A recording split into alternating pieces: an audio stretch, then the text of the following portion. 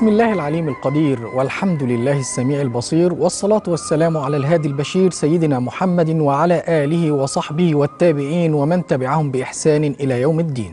أعزائي المشاهدين السلام عليكم ورحمة الله تعالى وبركاته. أهلا ومرحبا بكم معنا في لقائنا المتجدد مع التلاوة. نرحب بضيفنا فضيلة الشيخ خالد شعبان من علماء القراءات والتجويد بالأزهر الشريف. مرحبا بكم فضيلة الشيخ خالد. يا أهلا ومرحبا. أعزائي المشاهدين انتهينا بحلقة الأمس إلى الآية الثامنة والعشرين من سورة المرسلات. واليوم إن شاء الله تعالى سنستمع إلى الآية الكريمة من 29 إلى الآية الحادية والثلاثين بصوت القارئ الشيخ عبد الباسط محمد عبد الصمد. لنتعرف على بعض أحكام التجويد مع فضيلة الشيخ خالد. نستمع بقلوب منصتة خاشعة إن شاء الله إلى التلاوة الكريمة. بسم الله الرحمن الرحيم.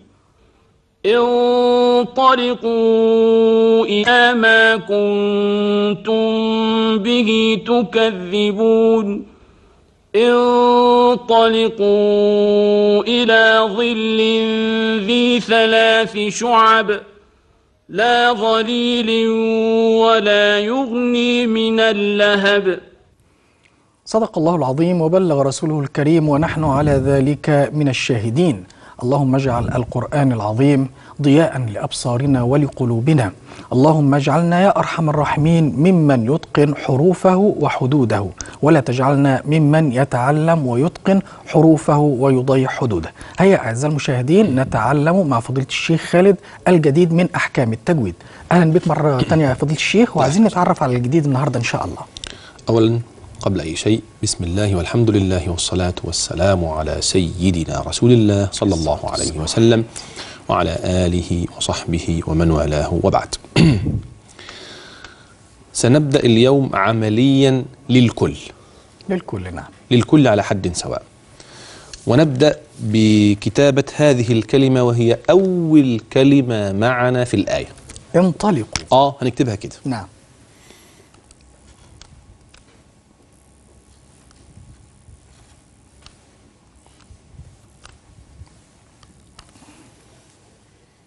دي كده علامة السكون.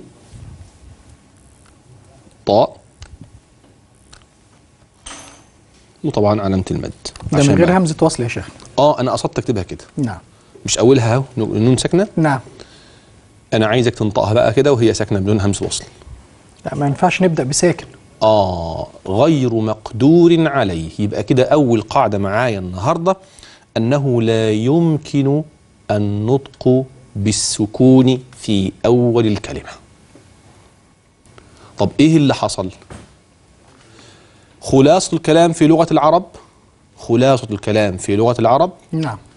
ما دام الساكن قد أتى في أول الكلمة وما ينفعش لأنه غير مقدور على النطق بالساكن في أول الكلمة أتوا بهمز وصل في أول الكلمة. عشان كده ما رضيتش أكتبها وقلت أكتبها دلوقتي كده أهو. يعني همز الوصل في الأصل غير موجود. ده أتي بهذه الهمزة. نعم. عارف بالضبط كده ما مهمة السلم في المنزل. للصعود للدور الأعلى مثلا. هذا ما قاله الخليل بن أحمد بعينه عن اللسان. اتخذ هذه الهمزة كالسلم ليصعد بها إلى هذا الساكن لينطق. أنا كتبتها من قبل همز الوصل وقلت لك انطق نعم. عرفت؟ لا ما قدرتش أنطق. ولا أنا. لكن لما جاءت هذه الهمزة إيه اللي حصل؟ قلنا إزاي؟ قلنا انطلقوا. أصبحت الهمزة عندي مفتوحة سمعتها مني مفتوحة ولا سمعتها مني مكسورة ولا سمعتها مني مضمومة ولا سمعتها من سيدنا لما قرأ إزاي؟ لا سمعتها مكسورة. أيوة. يبقى هنا الهمزة دي اتكسرت معايا هنا فأنا هقف النهاردة ليه كسرناها هنا في الموضع ده؟ عشان الكلمة دي اللي هي انطلقوا أتت معي في آيات اليوم مرتين. وهناخد ليه انكسرت هنا؟ وفي نفس الوقت نعرف الهمزة دي من خلال هذه الكلمة نتعرف عليها. تاني لما جينا حطينا الهمزة دي قبل ما اكتبها زايدة ولا أصلية؟ لا زائدة. آه يبقى رقم واحد همز الوصل زائدة. ده رقم واحد. نعم. خلاص كده؟ طيب. في وسط الكلام قصدي في وسط الكلمة يعني ولا في آخرها ولا في أولها؟ لا في أول الكلمة. آه أول الكلمة. أهو تقع في أول الكلمة. أنا باخد من الكلمة اللي قصادي وبكتب التعريف. نعم. وأرجو المشاهد الكريم يمشي معايا واحدة واحدة. إحنا بنحفظش إحنا بنفهم. نعم. ماشي الكلام كده؟ يبقى همز الوصل زائدة. تقع في أول الكلمة خلاص كده؟ جميل قوي كده. آه آيات اليوم قصار. قبل هذه الكلمة قوله تعالى ويل يومئذ للمكذبين. نعم. البعض يحلو له مع قصر الآيات إن هو يعمل إيه؟ الوصل. الوصل. نعم. طب لو حب يوصل هيوصل إزاي؟ هيقول إيه؟ ويل يومئذ للمكذبين انطلقوا لا. ما ينفعش. أمال هيقول إزاي؟ هيقول كده. ويل يومئذ للمكذبين. آخر حرف في كلمة المكذبين إيه؟ النون. بعد هذه النون في المكذبين ينتقل إلى نون انطلقوا مباشرة. إيه اللي حصل لهذه الهمزة؟ أثناء وصل الكلام. سقطت سقطت. حذفت. نعم. يبقى أهو تحذف أثناء الوصل. ولو حد بيقرأ في كتب مثلا وقرأ كده وتسقط في الدرج. يعني إيه تسقط في الدرج؟ يعني تحذف أثناء وصل الكلام ببعضه البعض. أيوة مش الدرج بمعنى الدرج أو لا لا لا لا, لا, غلط. لا. عشان كده قصدت ان أقولها يعني. نعم. تحذف إيه؟ في الدرج. في الدرج يعني في الوصل. في وصل الكلام. أو يبقى همز الوصل هي همز زائدة. نعم. تقع في أول الكلمة. تحذف أثناء الوصل. طب لما جه سيدنا قرأ وابتدأ أثبتها ولا حذفها؟ لا أثبتها. آه وتثبت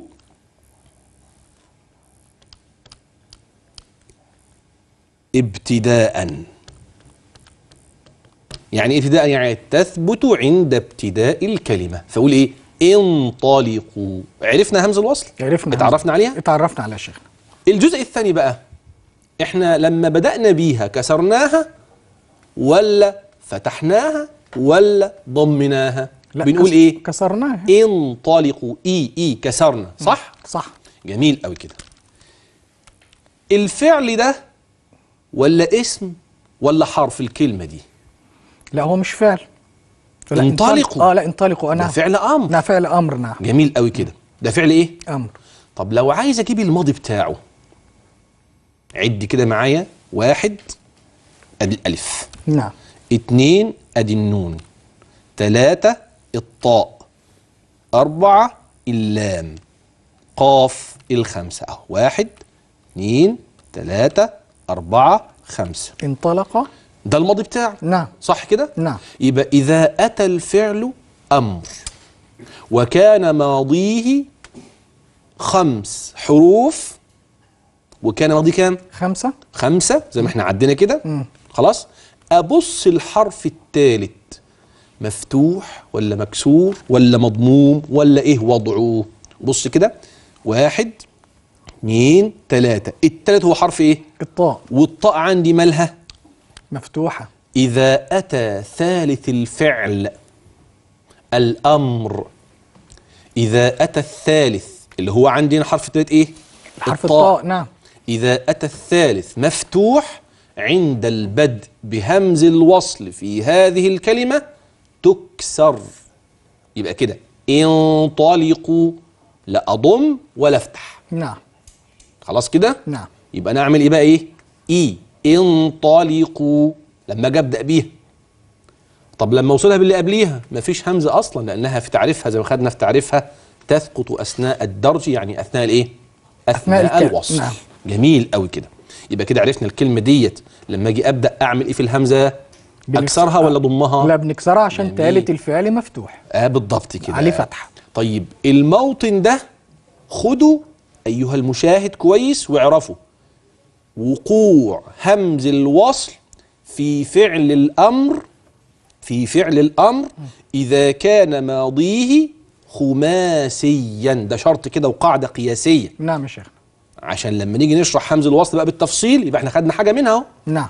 ليه اتكلمنا في ده النهارده وسيبنا الصفات؟ ما سيبناهاش. بس الآيات النهارده والكلمات هي التي فرضت علينا هذه الجزئية من باب همز الوصل.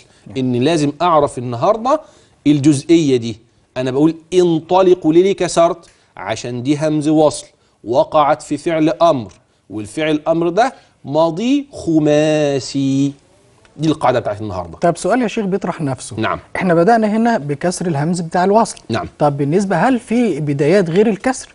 آه في الضم يبقى بالظبط كده. إحنا كده عرفنا إن لسه في هنكمل ما إحنا لسه قايلين من شوية دي جزئية من باب همز الوصل دي نعم. جزئية فرضت نفسها اليوم معنا في هذه الكلمة نعم. لأنها تكررت معي في هذه الآيات مرتين طب ممكن- انطلقوا آه. إلى ما كنتم به تكذبون انطلقوا. انطلقوا إلى نعم يبقى لو هوصل تكذبونا نفس الكلمة السابقة هي هي بعينها نعم. يبقى هنا هبدأ بها مكسورة ليه عشان تالت الفعل مفتوح. أبدأ ماشي. بيها مكسورة عشان تالت الفعل مفتوح, مفتوح. طب بالتفصيل شوية عشان الفعل ده فعل أمر والماضي منه ماضي خماسي. خلاص كده؟ خلاص دي. كده أول جزئية معايا النهاردة. طيب ماشي. تمام كده؟ نعم. طيب الجزئية الثانية بقى. إحنا خدنا حروف الاستعلاء. خدنا حروف يا الاستعلاء ترى بالأمس. فاكرينهم ولا نسيناهم؟ لا أنا فاكرهم يا شيخ. أيوه. سبع حروف هم. سبع حروف. أيوة. خص ضغط قض. أيوه مجموعين في قول الناظم خص خص ضغط قض. جميل قوي كده. يا ترى كلمة انطلقوا اللي معانا النهارده فيها حروف من حروف الاستعلاء ولا ما فيهاش؟ لا فيها. فيها إيه وإيه؟ أقول يعني؟ قول. طيب ماشي. فيها الطاء. جميل. وفيها القاف. جميل ممتاز قوي كده. تعال بقى نطلع صفات الطاء في إطار ما أخذنا. إحنا خدنا الهمس نعم. وخدنا ضد الجهر خدنا الشدة والضد بينية ورخاوة. رخاوة، نعم. خلاص كده؟ نعم. وأخذنا الاستعلاء.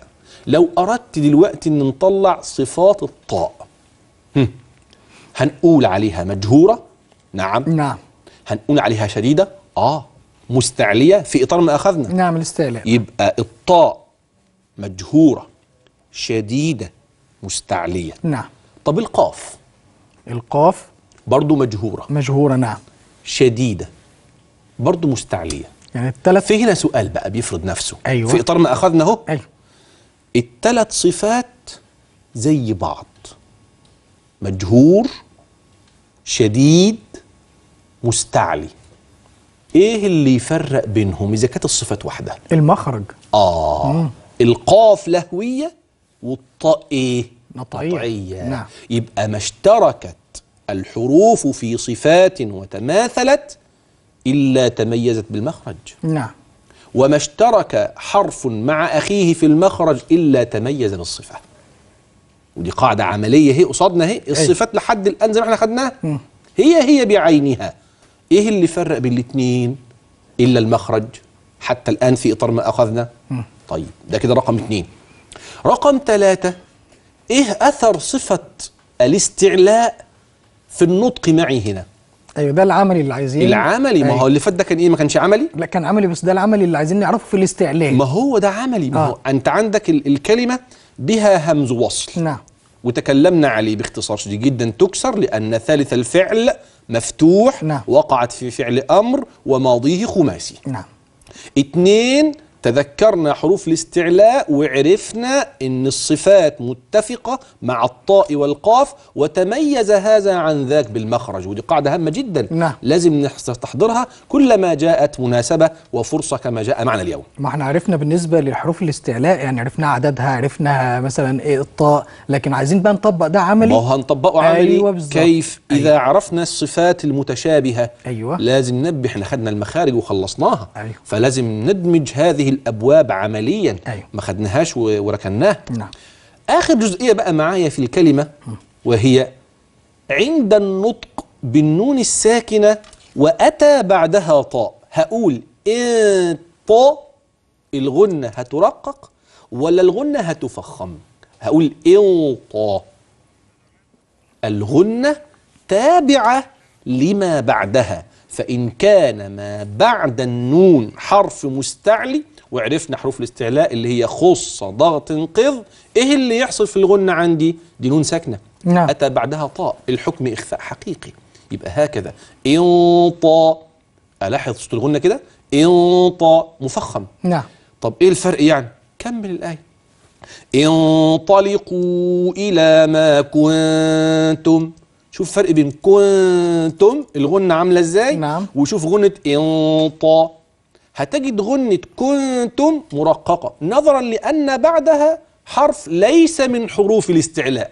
مش هقول لك إيه دلوقتي نعم. عشان نركز في الجزئية دي. يبقى اذا فحروف الاستعلاء عند الإخفاء لما نخفي أيوه ما يحصل آه ما يبقاش الإخفاء. نخلي بالنا بقى إذا كان أحد حروف الاستعلاء معي وقع بعد النون الساكنة طبعا في إخفاء في غنة. نعم في غن الغنة بقى. فأخلي بال إن الغنة هنا تفخم. بالظبط كده. شوف كده انطلقوا إلى ظل ذي ظل ذي. الذال مش من خوصدات انقذ عشان كده الغنة مرققة. نعم. وده بيقع فيه كثير جدا من المتصلين أثناء التلاوة حينما لا يلاحظون الفرق بين الغنة هنا والغنة هنا. فأرجو بقى اليوم بعد ما أخذنا صفة الاستعلاء ها نخلي بالنا عمليا من صوت الغنة من حيث التفخيم والترقيق طب شيخنا الكريم معانا الحاج إحسان على الخط عايزين طيب. بقى من الحاج إحسان إن شاء الله نسمع يا حاجة الغنة المفخمة والغنة المرققة اللي فيها ترقيق. فكما علمنا الشيخ الغنة التابعة لما بعدها. فحروف الاستعلاء النهارده معانا كام حرف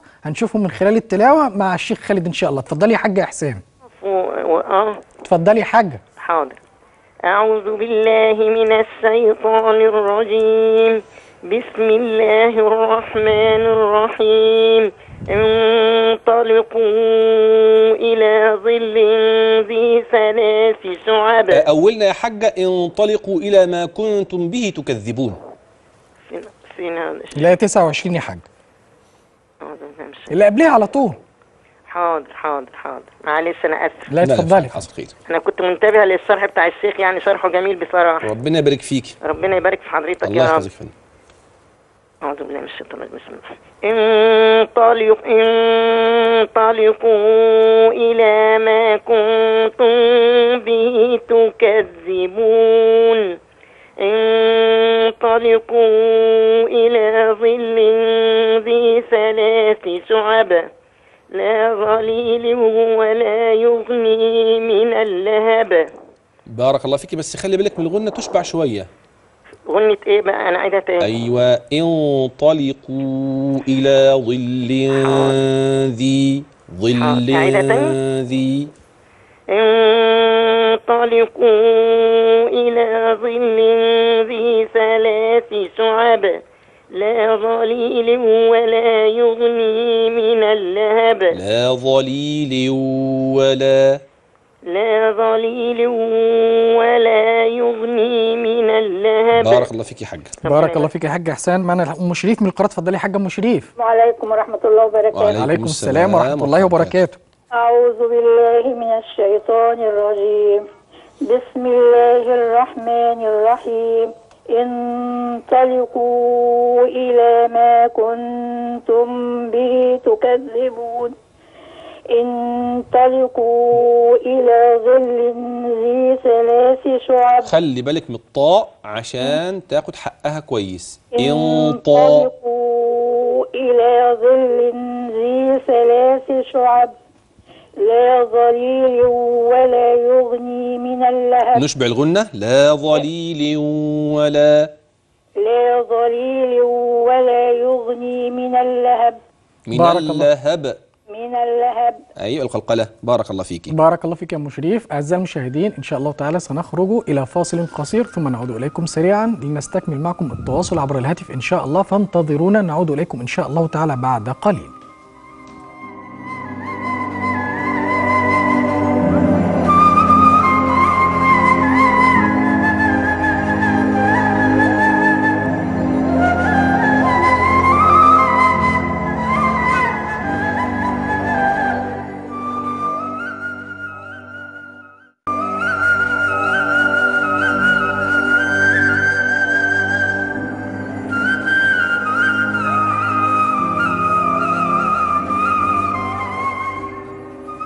أعزائي المشاهدين نجدد لكم التحية من روضاتنا القرآنية مع آيات سورة المرسلات من الآية 29 للآية 31 سريعا نذهب للحاجة سميرة من القناة اتفضلي يا حاجة سميرة. السلام عليكم ورحمة الله وبركاته. عليكم وعليكم السلام السلام. ورحمة الله جعلكم من وبركاته. أهل القرآن إن شاء الله ومن أهل الفردوس الأعلى. جميعا إن. شاء الله. أمين أمين. آمين. أعوذ بالله من الشيطان الرجيم. بسم الله الرحمن الرحيم. انطلقوا إلى ما كنتم إلى ما كنتم به تكذبون. يا حاجة ممكن نقرأها مع مراعاة الأحكام بس بدون تمطيط. يعني كده. أعوذ بالله من الشيطان الرجيم. انطلقوا إلى ما كنتم به تكذبون. طيب كلمة. انطلقوا إلى ظل ذي ثلاث شعب. لا ظليل ولا يغني من اللهب. فتح الله لك يا حاج سمير بارك الله يا حاجة سميرة. رجاء المد الطبيعي ما يزيدش عن حقه. يعني كلمة إلى إلى ما مد طبيعي. إلى ما كنتم. يبقى ده مد طبيعي ما زودوش. إنما لما مديت في انطلقوا عشان في سبب جه الهمز. إنما إلى ما ما زودش عن الطبيعي في مقدار فنخلي بالنا أثناء التلاوة. بارك الله فيك يا حاجة. طيب معانا الحاجة أم أحمد من دمياط. اتفضلي يا حاجة أم أحمد. وعليكم السلام ورحمة الله وبركاته. أعوذ بالله من الشيطان الرجيم. بسم الله الرحمن الرحيم. انطلقوا إلى ما كنتم به تكذبون. انطلقوا إلى ظل ذي ثلاث شعب. لا ظليل ولا يغني من اللهب. بارك الله فيك ما شاء الله أحسنتي. الحاجة عزة من القراءة اتفضل اتفضلي يا حاجة عزة. السلام عليكم ورحمة الله وبركاته. وعليكم السلام ورحمة الله وبركاته أختي الكريمة اتفضلي. أعوذ بالله من الشيطان الرجيم. بسم الله الرحمن الرحيم. انطلقوا إلى ما كنتم به تكذبون. نفس خلي بالنا ما زودش في المد الطبيعي. إلى ما كنتم. حاضر. إلى ما إلى ما إلى ما كنتم لا إلى كلمة وما كلمة. يبقى كده. إلى ما كنتم. انطلقوا إلى ما كنتم به تكذبون. انطلقوا إلى ظل ذي ثلاث شعب. ظل ذي ظل. ذي ثلاث شعب لا ظليل ولا يغني من اللهب. بارك الله فيك الله. العظيم. بارك الله فيكي نخلي بالنا من صوت الغنة يا جماعة في قوله انطلقوا عشان في البعض بيقرأها كده انطا كأنها نون مشددة. نعم. وده غير صحيح. كده ما فيش إخفاء حصل. الإخفاء هكذا انطا انطا خلي بالنا من دي. اتفضل. وأيضا يا شيخنا درجات التفخيم يعني عشان ما يبقاش كله غنة واحدة لا. في الغنة المفخمة والغنة لا إحنا المرققة. لسه منبهين. نعم. إذا جاء بعد النون الساكنة حرف من حروف الاستعلاء تفخم الغنة. نعم. نخلي بالنا. معانا الحاجة سلوى من بني سويف اتفضلي يا حاجة سلوى وعايزين نسمع الغنة المفخمة كده. اتفضلي. السلام عليكم. وعليكم السلام ورحمة السلام. الله وبركاته أستاذ سلوى. اتفضلي. أعوذ بالله من الشيطان الرجيم. بسم الله الرحمن الرحيم. انطلقوا إلى ما به تكذبون. إلى ما كنتم. إلى ما كنتم به تكذبون. انطلقوا إلى ظل ذي ثلاث شعب. كمان مرة؟ انطلقوا إلى ظل ذي ثلاث شعب. انطلقوا إلى ظل ذي ثلاث شعب. ظل ذي ظل ظل ذي ثلاث شعب. لا ظليل ولا يغني من اللهب. صدق الله العظيم. بارك, بارك الله الله فيك. فيك. نخلي بالنا النهارده في آية اليوم برضو معانا ظل وذي وثلاث. هتيجي بعدين إن شاء الله بس خلي بالنا من الظاء ونخلي بالنا من الذال نعم. طرف اللسان عند النطق. نعم. نعم. الاستاذه انشراح من اسكندرية اتفضلي يا استاذه انشراح ال- بصراحة, بصراحة يعني إحنا فرحانين قوي البرنامج ده والله ربنا يكرمكم يا رب. الله يبارك في. حضرتك ربنا يكرمكم والله حاجة جميلة حاجة تفرح والله. الله يبارك. أنا أول مرة أتصل. اتفضلي يا حاجة يعني أسعدينا. بصوتك كده واقراي الله. انطلقوا إلى ما كنتم؟ أيوه. بسم أعوذ بالله من الشيطان الرجيم. بسم الله الرحمن الرحيم. انطلقوا إلى ما كنتم به تكذبون. انطلقوا إلى ظل ذي ثلاث شعب. لا ظليل ولا يغني من اللهب. لا ظليل ولا لا ظليل ولا يغني من اللهب. بارك الله فيك بس خلي بالك من أماكن الغنى يا حاج ربنا يبارك فيك بارك الله فيك يا حاجة انشراح وشرح الله تعالى صدرك. معانا أسماء الاستاذ أسماء من اسكندرية اتفضل اتفضلي يا أستاذ أسماء. السلام عليكم. وعليكم السلام ورحمة الله وبركاته. اتفضلي اقرأي. آه اتفضلي بسم الله الرحمن الرحيم. انطلقوا إلى ما كنتم به تكذبون. انطلقوا إلى ظل ذي ثلاث شعب لا ظليل ولا يغني من اللهب. ما شاء الله عليك يبدو أنك عارفه الأحكام فعشان كده ما اتكلمتش معاك في ماده المنفصل لكن رجاء من يتصل بنا يسر على النهج العام عشان الكل بيتعلم من الكل. نخلي بالنا من مد المنفصل. عندنا في مدين منفصل الأخت ما شاء الله مجيده في القراءة وقرأت بقصر منفصل بس إحنا بنقرأ آه، بتوسطه فنخلي بالنا من هذه الأشياء. أنت ما شاء الله حافظه دي يا أستاذ أسماء من القرآن الكريم. أنا ختم الحمد لله. ما شاء الله. باين ما شاء الله. الله. ربنا يكرمك إن شاء الله ونكون وإياك إن شاء الله من أهل القرآن الذين يعملون به. معانا الحاجة نعمات من القرآن اتفضلي يا استاذه نعمات.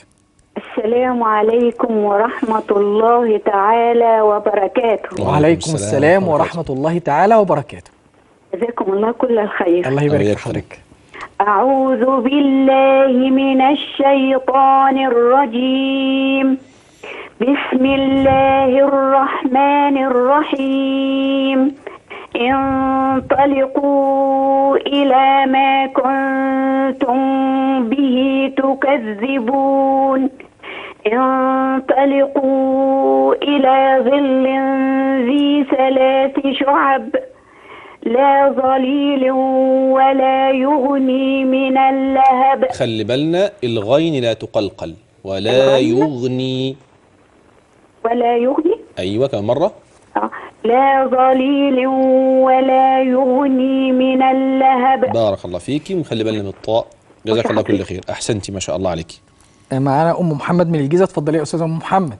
السلام عليكم ورحمة الله وبركاته. وعليكم السلام ورحمة الله وبركاته. ورحمة حاجة اتفضلي يا أمي. آه لو سمحت وأنا يعني امية ما بعرفش أقرأ بس بقرأ من نطق الشيخ اللي بيقول يعني كده من نطق كلامه. ده هو ده الطريقة اللي اللي اتعلم بيها الصحابة والتابعون كلهم اتعلموا كده يا يعني حاج أنا ما بعرفش أقرأ بس بالنطق يعني الشيخ لما بيقول بشوف النطق بتاعه بعرف أقرأ كده يعني. ما اتفضلي يا وقبل ما اقرا ربنا يبارك لكم ادعوا لي عندي أورام ربنا يشفيني ويشفي كل مريض يا آمين رب يا الله رب الله يبارك لكم. آمين يا نسأل رب الله لك والجميع الصحة والعافية آمين. مع الإيمان. آمين يا يا رب. اللهم آمين. آمين آمين يا رب. أعوذ بالله من الشيطان الرجيم. بسم الله الرحمن الرحيم.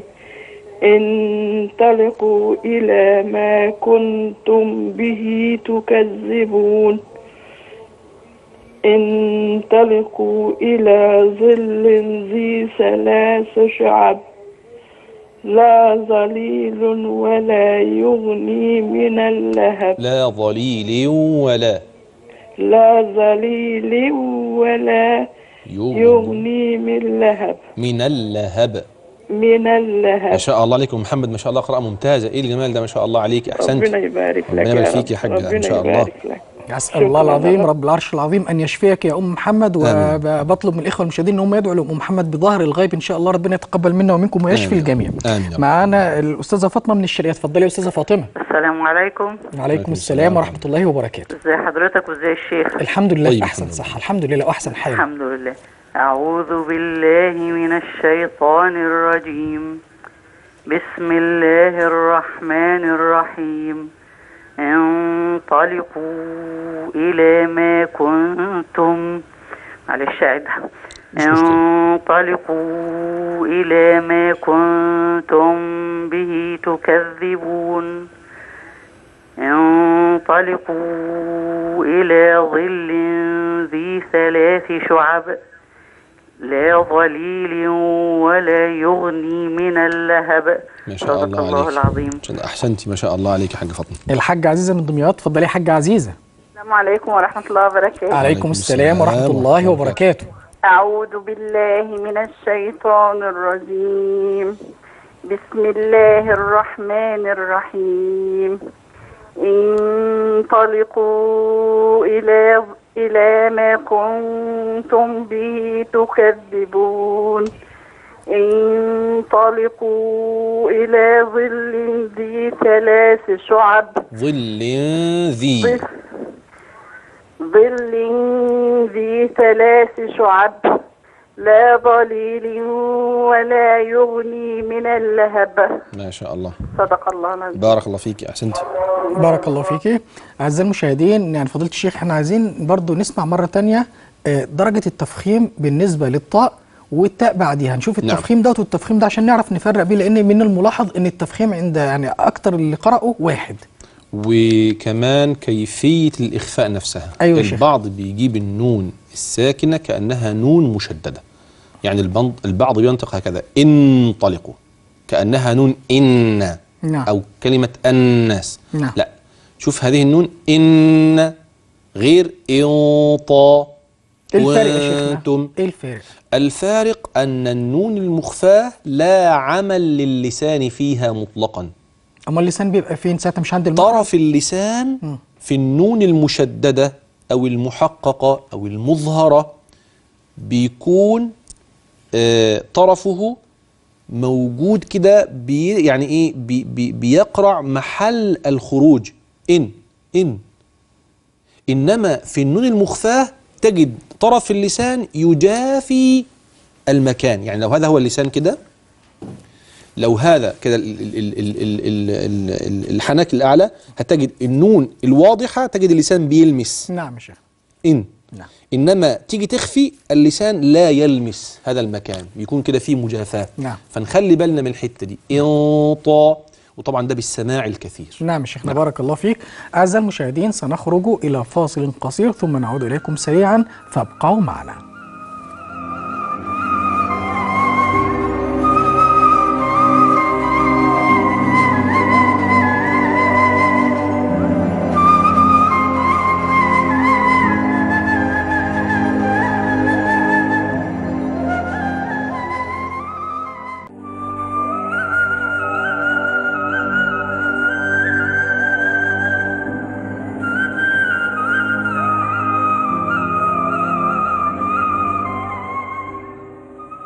أعزائي المشاهدين نجدد لكم التحية من روضاتنا القرآنية مع آيات سورة المرسلات من الآية 29 للآية 31 في الفقرة الأخيرة من البرنامج اليوم.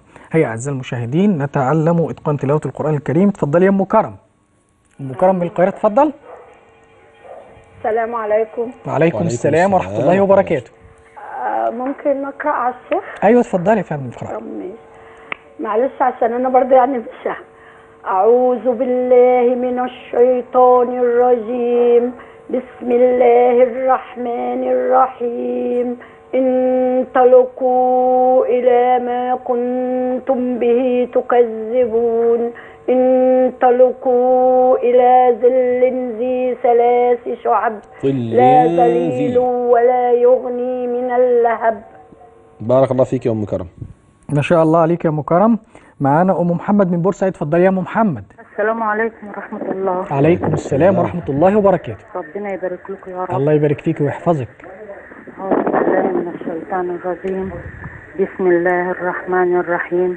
انطلقوا إلى ما كنتم به تكذبون. انطلقوا إلى ظل ذي ثلاث شعب لا ظليل ولا يغني من اللهب. بارك الله فيك. بارك الله فيك يا ام محمد. معانا أم كريم من الجيزة. اتفضلي يا أم كريم. أم كريم من الجيزة. السلام عليكم ورحمة الله وبركاته. وعليكم السلام ورحمه ورحمة الله الله تعالى وبركاته. ازيك يا زمان أهلا وسهلا يا أم كريم. ازي حضرتك؟ أهلا وسهلا. اتفضلي يا أم كريم. أعوذ بالله من الشيطان الرجيم.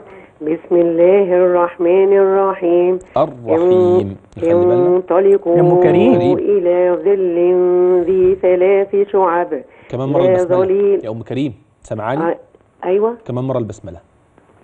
بسم الله الرحمن الرحيم. أيوة كده. انطلقوا إلى ما كنتم به تكذبون. انطلقوا إلى ظل ذي ثلاث شعب لا ظليل ولا يغني من اللهب. بارك الله الله فيك. العظيم بارك الله فيك يا أم كريم. برضه يا شيخنا الكريم بالنسبة لتلاوة الإخوة المشاهدين ما شاء الله في يعني كتير مش عنده الثقة في نفسه ودايما يقول يعني بيقدم الاعتذار على عدم إتقان التلاوة مع إن إحنا كلنا كنا في البداية كده. فحضرتك بتقول إيه على أهمية إن الإنسان يكون عنده أمل ويقين إن شاء الله ان هو هيتقن القرآن الكريم أدام هو بيعمل ويعني بيجتهد في تلاوة القرآن الكريم؟ واحد أنا بتصل عشان أتعلم. نعم.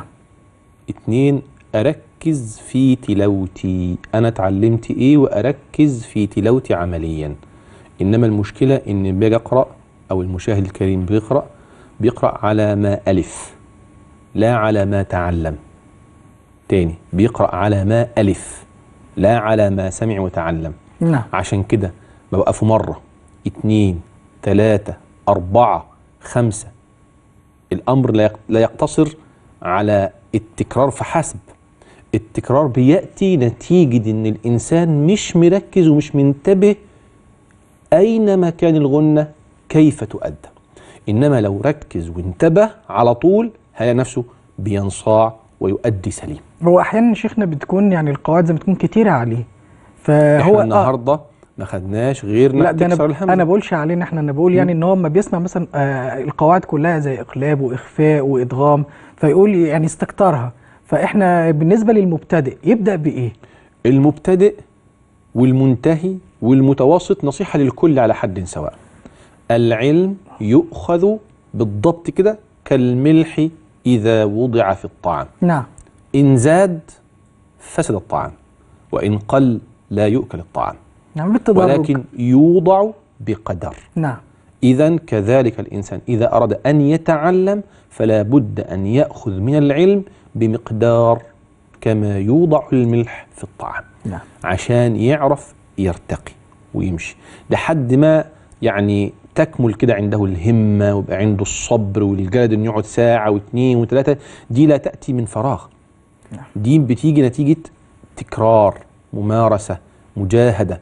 طب أنا لسه في البداية؟ لا أروض النفس. نعم يا شيخ. وهكذا. نعم. نعم. أعزائي المشاهدين يعني إحنا عايزين نخلي تعليمنا مع القرآن الكريم. نقول شعار هو علي هين سهل إن شاء الله وربنا ميسره للجميع بإذن الله. معنا أم إسراء من بورسعيد. اتفضلي يا أم إسراء. السلام عليكم ورحمة الله وبركاته. وعليكم السلام ورحمة الله وبركاته. ممكن أقرأ؟ طبعا يا فندم اتفضلي. أعوذ بالله من الشيطان الرجيم. بسم الله الرحمن الرحيم. انطلقوا إلى ما كنتم به تكذبون. كنتم به. كن انطلقوا إلى ما كنتم به تكذبون. انطلقوا إلى ظل ذي ثلاث شعب. لا ظليل ولا يغني من اللهب. بارك الله فيك يا أم إسراء. بارك الله فيك يا أم إسراء. آه، شيخنا الكريم نكمل حوارنا بالنسبة للإخوة المشاهدين نعم. اللي لسه في بداية الطريق بيتعلموا القرآن الكريم. نعم. إيه تاني من القواعد اللي يخلوا بقى يعني ياخد باله منها ويبدأ إن شاء الله وعنده أمل وتفاؤل في المستقبل وفي الوقت معه؟ يبدأ بالسماع. السماع. نعم. نعم. والمحاكاة. و- ويعني السماع هذا درجة بس درجة تأتي بعد الجلوس أمام المعلم الشيخ اللي يعلمك الأول شفهي كده الأول وبعد كده تبدأ تسمع وتعيش مع القرآن. بس لابد أن تتلقى خير خلق الله وأفضل الألسنة. قال الله له وإنك لتلقى القرآن من لدن حكيم عليم. لقنه الله ليجعل هذا الأمر سنة في هذه الأمة. نعم. الصحابة وهم خير لسان بعد رسول الله صلى الله عليه وسلم. كانوا يسمعون من رسول الله صلى الله عليه وسلم. نعم. والصحابة كذلك علموا من بعدهم كذلك بهذه الطريقة. نعم. بل وضعها الرسول أسوة فيهم فكان يحب أن يسمع منهم. نعم. كما جاء في الحديث بارك الله فيك شيخنا الغالي. إحنا بنقول للإخوة المشاهدين من أجل ذلك إحنا عايزين إما نتصل بالشيخ ونقعد نقرأ على الشيخ نكون بنتعلم مش بنقرأ على طول وما بنسمعش ملاحظات الشيخ. معانا أم محمد من الدقهلية. اتفضلي يا أم محمد اقرأي على الشيخ كده قراءة اللي يعني إحنا عايزين نتعلم من الشيخ ونشوف إيه الحاجات اللي نتجنبها وإيه اللي نأكد عليه. اتفضلي يا أم محمد. السلام عليكم. وعليكم, وعليكم السلام السلام. ورحمة الله وبركاته. أعوذ بالله من الشيطان الرجيم. بسم الله الرحمن الرحيم. انطلقوا إلى ما كنتم به تكذبون. في غنى التكلت كنتم به. انطلقوا إلى ما كنتم به تكذبون. انطلقوا إلى ظل ذي ثلاث شعب لا ظليل ولا يغني من اللهب. بارك الله فيك. بارك الله فيك أخت أم محمد. آه، أيضا يا شيخنا الكريم البعض عندما بيتعلم القرآن الكريم يريد أن يعني زي ما مش عايز زي ما بيقولوا يعني يقفز مرة واحدة يعني يقفز يعني عايز يطلع مرة واحدة يحفظ القرآن. فماذا نقول عن أهمية إتقان التلاوة اولا؟ ثم بعد ذلك بعد أن نتقن التلاوة يعني كلنا ورد ثابت يعني زي ما حضرتك طبعا آه، عليم وخبير في هذا المجال. فماذا يقول يعني ماذا تقول للإخوة المشاهدين الكرام بالنسبة لأن هم يتدرجوا مع القرآن الكريم والحفظ هيجي إن شاء الله يعني مستقبلا؟ نعم الإنسان إذا أراد شيئا معينا بعينه ذهب إلى أهل التخصص ليتعلم. أردت سؤال في الفتوى بأذهب إلى أهل الإفتاء. نعم. أردت سؤالا في الطب فذهب إلى أهل الاختصاص. فكذلك الإنسان إذا أراد أن يحفظ كتاب الله تبارك وتعالى يذهب للمختص ويجلس على يديه أمامه بذل المتعلم. نعم. تاني بذل المتعلم. معنى ذل المتعلم إيه يا شيخنا ذل المتعلم هذا توضحه قصة أحد أمراء بني أمية. حينما كان يحج في عام من الأعوام فسأل عن مفتي الحج هذا العام فقيل له هو عطاء بن رباح. ويصفونه أي يصف الواصفون عطاء وهو مولى أسود كالغراب الأشحم. فيذهب إليه الخليفة بجلالته وقدره ومعه ولداه وكان يصلي. فجلسوا أي الخليفة والولد حتى انتهى من صلاته ولم يلتفت لهم إلى أن سألوه وأجابهم. نعم. ليس متكبرا ولكنه يعلم أن هذا موسم حج. نعم. ولكن الشاهد في القصة لما انصرف الخليفة وأتم السؤال قال لهم ما كان أشد مما وقفنا في سؤالنا من ذلنا أمام هذا العالم الجليل. بينصح الأولاد فيقول لهم ولا تنيا في طلب العلم فإني لن أنسى ذل السؤال. نعم. لا تنيا يعني لا تفترى في طلب العلم ولا تقصرا نعم. فطلب التلاوة الصحيحة فرض عين على كل مسلم ومسلمة كيف سيصلي؟ طب إحنا بنطلب من حضرتك يا شيخنا إن إحنا نسمع التلاوة مرة تانية نعم. ونتعلم من تلاوة حضرتك إن شاء الله. نعم. أعوذ بالله من الشيطان الرجيم. بسم الله الرحمن الرحيم. انطلقوا إلى ما كنتم به تكذبون. انطلقوا إلى ظل ذي ثلاث شعب لا ظليل ولا يغني من اللهب. صدق الله العظيم. وبلغ رسوله الكريم ونحن على ذلك من الشاهدين. بارك الله فيكم فضيلة الشيخ. أعزائي المشاهدين إلى هنا نصل إلى ختام حلقة اليوم. نسأل الله تعالى أن يجعلنا وإياكم من أهل القرآن العظيم المتمسكين بحبله المتين السائرين على صراطه المستقيم. سبحان ربك رب العزة عما يصفون وسلام على المرسلين والحمد لله رب العالمين. والسلام عليكم ورحمة الله تعالى وبركاته.